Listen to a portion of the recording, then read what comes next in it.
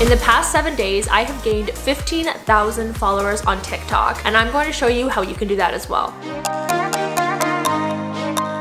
Okay, well what causes growth? And to be honest, I know exactly what caused the growth. It was me changing my video format specifically for TikTok, and I'm gonna show you guys how you can do this as well. And a little disclaimer, if you aren't a fan of TikTok, that's totally fine. I'm not forcing you to be on the app. I'm just trying to help people out here who are wanting to grow their following because there's certain things you can do that will actually excel your growth. TikTok is a bit of a unique format to videos that isn't like many other platforms. So there's two main things you have to do when starting a TikTok account. Number one is to pick a niche and number two is to teach people something. The two misconceptions about TikTok is that it's just for kids and it's a dancing app. Yes, TikTok used to be Musical.ly, but the reason they actually changed it to TikTok is because Musical.ly was just one niche. It was young kids dancing and they wanted to change that and that's why they created TikTok. So you'll be able to find every single type of account nowadays, from food videos to DIY to home renovations. There's therapists on there. There's people teaching basically everything under the sun. So you need to decide what value can I bring to people? And even if nothing comes to mind right away, think of your job. Okay, are you maybe a teacher? Yes, traditionally maybe that wouldn't have been something you could then do on social media, but with TikTok, you can teach people anything. So maybe you're teaching someone how to do simple math if you're an elementary school teacher. You could literally take any skill you have or your job or whatever it is and make it into a niche account. So first things first, you're probably wondering, how do I make a TikTok? Well, I'm gonna show you guys that right now and show you how simple it actually is. So something that makes a huge difference in TikTok videos and honestly videos overall, YouTube, Instagram, whatever, is having good lighting. A ring light like this bad boy right here is something I decided to invest in recently. And when I say invest, I mean like a $100 investment. It's really not much in the scheme of things, but it makes a world of a difference for videos. So I don't actually have a ton of light in my place, and so I could never actually film in here until I bought this bad boy. The difference a ring light makes is night and day. It's honestly such a good thing to buy if you wanna do any type of video. One thing that works really well on TikTok is multi-part series. This allows for people to find your video and then want to actually follow you so they can see part two, part three, part 17. Depending on how well it does, honestly just keep making parts to the video because that's how you actually gain a lot of followers on TikTok. So since my niche is travel based, I wanna do everything to do with travel. So I had actually seen on TikTok some guy do a video where he was talking about the cheapest Airbnbs around the world. So I had kind of a fun spin on that to do the craziest Airbnbs around the world, crazy luxury and all that. So basically what I'm gonna do is I'm gonna actually use screenshots when I'm showing the luxury hotels or I might use a screen recording from my phone. So I have my camera camera set up and because I am going to be using text on the screen, I wanna leave a lot of areas for text. One thing to remember though is that the sides and the bottom and the top get cut off a little bit by the text at the bottom with like your hashtags and anything you use there, and then a bit at the top. But basically I need the first part of the video where it's me standing there telling the viewer what they're about to watch. So basically what I'll do is I'll stand in front of my wall like this. I have lots of room that I can put different text and you want to point to the text. So this is one of a few formats you can do on TikTok. It's a very popular format, but basically you would just film yourself going like this. World's greatest Airbnbs, and then maybe I'll go like part one. Or you can do like either pointing, you can also go like this with your hands. I kind of do a mix of them. Okay, so that's literally it. Anyone can do it. This is what I mean. And then since that literally took like 10 seconds of your time, then what you can do is change into a different outfit or a shirt and keep on filming. We have another tie-dye sweater. So if you have music, voiceover, and text on the screen where people are reading, it's gonna capture people's attention and actually keep it on your video for longer, which will make it more favorable in the algorithm, which I will talk about later in the video. First up, we have this property located in Guatemala. So I've actually had a TikTok account since the summer and none of my videos ever did that well. So I used to just post like random videos. They weren't actually bringing any value. So for me, I really noticed my growth when I decided to cater my videos to the TikTok format and not just keep doing what I was doing before. One thing to remember with TikTok is you never want to delete your old videos because for me, for example, I had posted a how to pose in a bikini, which was actually taken from a vlog you guys might have seen on YouTube. I'll leave it linked below.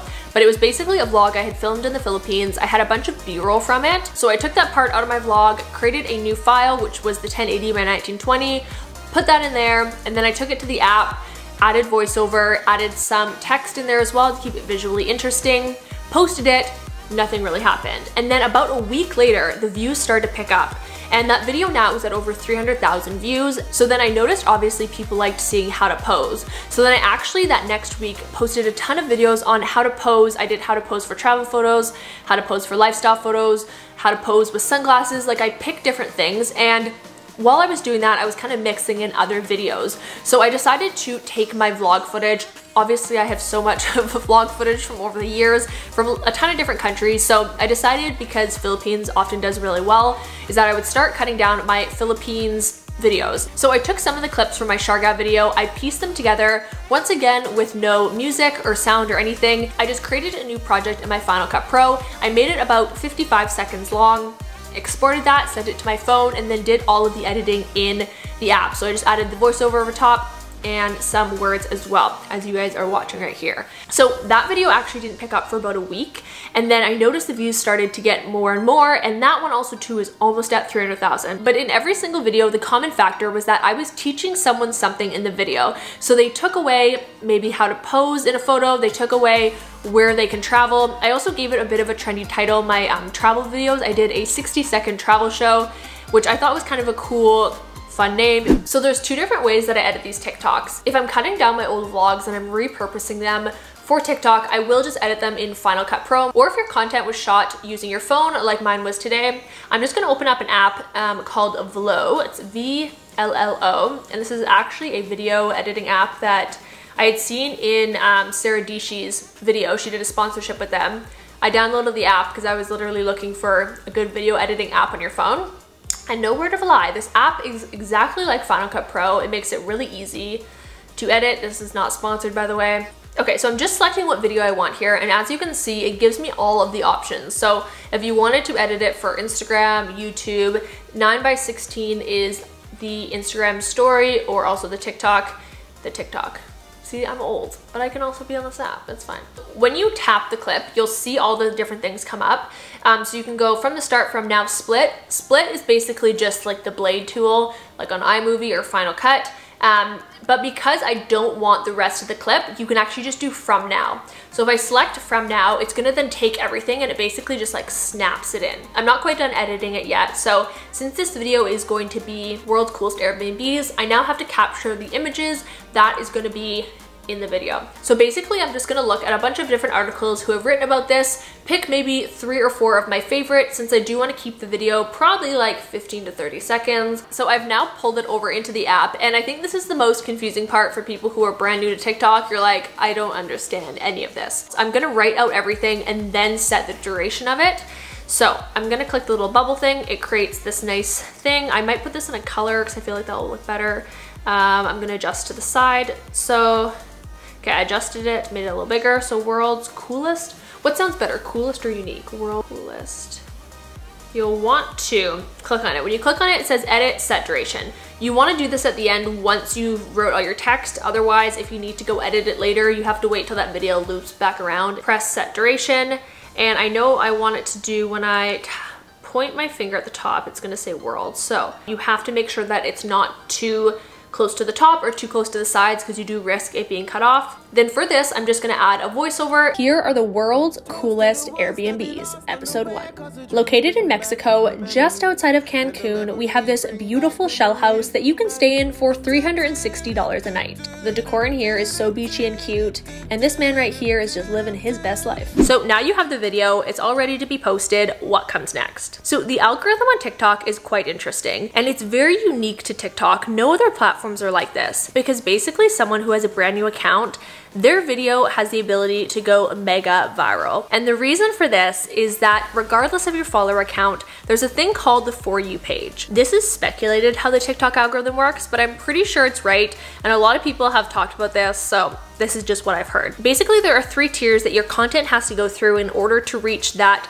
mega viral success. So when you post a video, it gets sent out to a test group of people. And depending on how long someone watches that video, if they share it with a friend, if they like it, if they comment, all those things are worth points. And the more points you get, the more likely your video is gonna be passed on to the second round of people. If in that second round of people, it gets even more comments, likes, shares, whatever. It gets passed on to the next one.